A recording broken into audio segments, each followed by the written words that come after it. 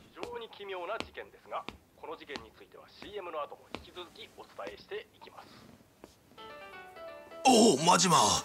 よう来た。待っとったで。おちょ待て何興奮しとんねん。そら興奮するに決まっとるやろ。なお前水草やないか。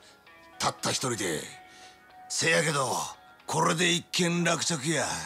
ようやったで真島何の話や？何って？お前やったやろ。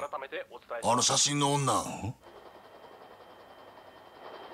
今日未明蒼天堀川で発見された若い女性の遺体は身につけていた衣類などから牧村誠さん二十歳とみられます。遺体は損傷が激しく大阪府警では牧村さんが何らかのトラブルに巻き込まれた殺人事件であると断定捜査本部を設置しなんやこれは。発見現場の周辺を中心に調べお前がやったんちゃうんか？あの写真の女を。俺はやっとらん。やるわけないやろ。せやけどお前死体は昨日お前が持ってった誠の服着とったで。なんやと？朝店にデカが来てな身元確認や言うて死体の写真見せられたんや顔は潰されとったが服は間違いなくお前に渡したやつや。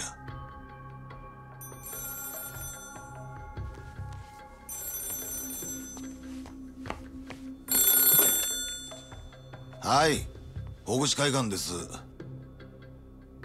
ああ？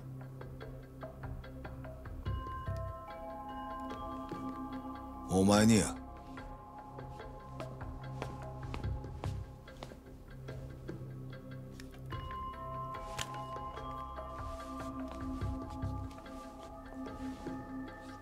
変わったで。真島やわしからのプレゼント受け取ってもらえたか。何の話や。決まっとるやろが牧村誠の死体や。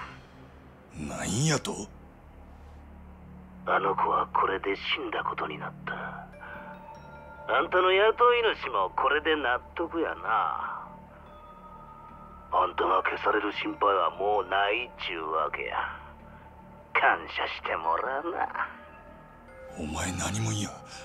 目的は何や。取引したいんや。あんたと。何わけわからんこと。実は今な。あんたの店で飲ましてもろてんねん。お前グランドに？